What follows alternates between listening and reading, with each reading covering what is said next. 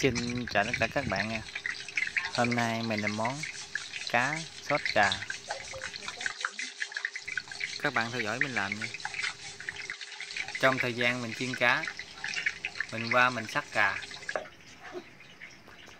Này các bạn thấy cà đẹp ha Thấy màu đẹp Đây lúc cá vàng mình trở về đây các bạn. Đó, Đó. Các bạn thấy cái đẹp không?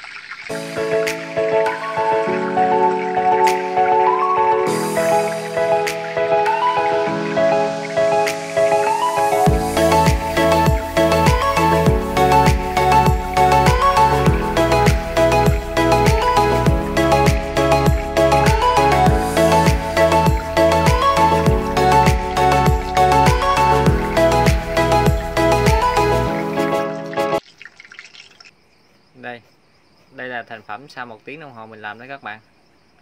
Các bạn thấy có đẹp không?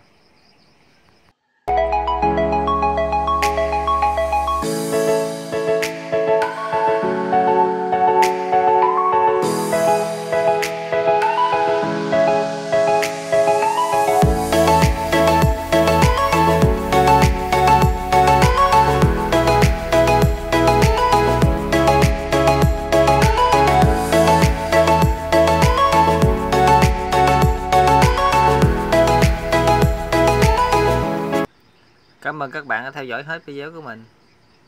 Các bạn hãy nhớ cho mình xin một đăng ký kênh. Cảm ơn các bạn rất nhiều. Hẹn các bạn những video sau của mình nhé.